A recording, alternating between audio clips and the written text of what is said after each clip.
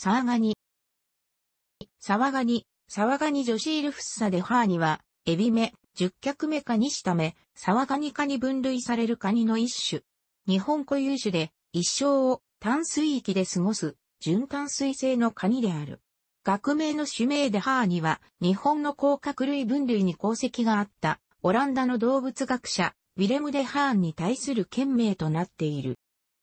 日本固有種で、青森県からトカラ列島、中之島までの分布とされている。本土周辺の当初では、佐渡島、男女群島、壱岐諸島、種ヶ島、沖諸島、五島列島、屋久島なども生息が報告されている。血ガニとして孵化する海流に乗って分布を拡大することができるプランクトンとしての養成期間を持たないことから長距離の移動能力に欠けるため、地域集団ごとに遺伝子レベルでの分化が認められる。また、21世紀初頭の時点では、移入種とみられる個体が北海道にも分布するとの情報がインターネット上に散見されるが、信頼のおける専門家、博物館、大学、水産研究所、学会などによる野生個体の確認は一切報告されていない。国立環境研究所が以前行った市民調査、すでに終了による結果が裏付けのないままと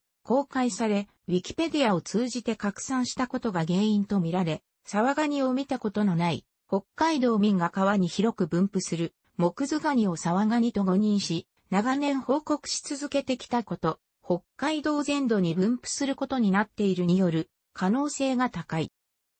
幸福20から 30mm、足を含めた幅は50から 70mm ほど。体色は、甲が黒褐色、足が朱色のものが多いが、青白いもの、地方によっては清水ガニと呼ばれる紫がかったものなども見られ、よく見られる体色は地域個体群によって異なる。甲羅には毛や突起などはなく、滑らかである。オスは右のハサミ足が左よりも大きくなるが、左の方が大きい個体もいる。川の上流域から中流域にかけて生息する。和名通り水がきれいな渓流、タク、小川に多いので、水質階級愛、綺麗な水の指標生物ともなっている。日中は石の下などに潜み、夜になると動き出すが、雨の日などは日中でも行動する。また、雨の日には川から離れて出歩き、川近くの森林や路上にいることもある。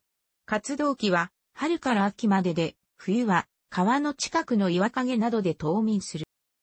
食性は雑食性で、藻類や水生昆虫、陸生昆虫類、カタツムリ、ミミズなど何でも食べる。一方、天敵はヒキガエル、赤小瓶、カワセミ、サギ類、イノシシ、イタチなどがいる。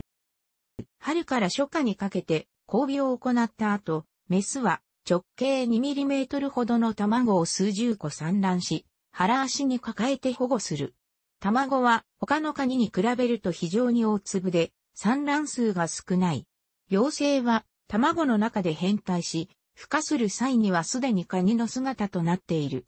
ジガニもしばらくは母ガニの腹部で保護されて過ごす。同じく川に生息する木図ガニや赤手ガニなどは妖精を海に放さなと成長できないが、沢ガニは一生を通じて海と無縁に生活する。寿命は数年マイナス10年ほどとされる。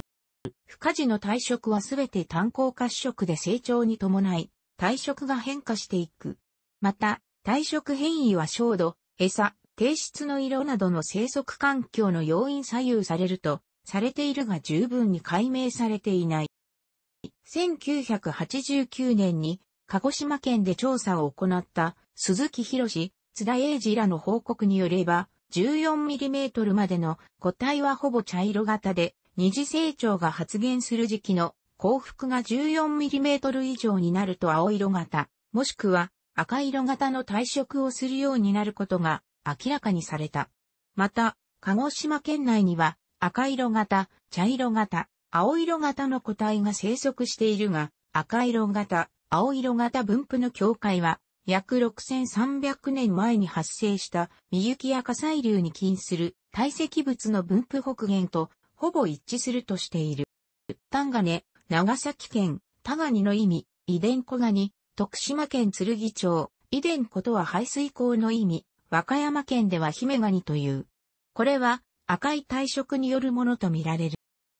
丸ごと唐揚げや佃煮にして食用にされる。和食の皿の彩りや酒魚などに用いられる。養殖もされており、食料を品店などでもしばしば目にすることができる。口述のように危険な寄生虫の中間宿主となっているので、食べる際にはよく火を通さなければならない。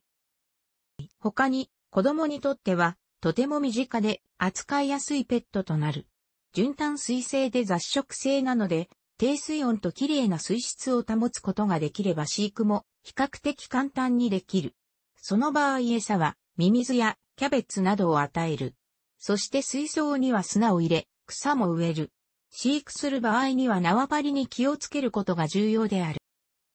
その他の利用方法としては、指標生物などが挙げられる。廃棄種や気境を引き起こす廃造ジストマの一種の中間宿主となるため、生殖あるいは加熱不十分なサワガニを食用とした場合に発症することがある。また、市販の木図ガニが感染経路として考えられる例が報告されている。トカラ列島以南の南西諸島には、サワガニは分布しないが、禁煙種が多数分布する。これらは孤立した当初や半島部で独自の種文化を遂げたものと考えられているが、同時に分布が局地的で、ほとんどの種類が絶滅危惧種となっている。また、禁煙の淡水性化には、マダガスカル島やフィリピンなどの日本国外にも分布する。楽しくご覧になりましたら、購読と良いです。クリックしてください。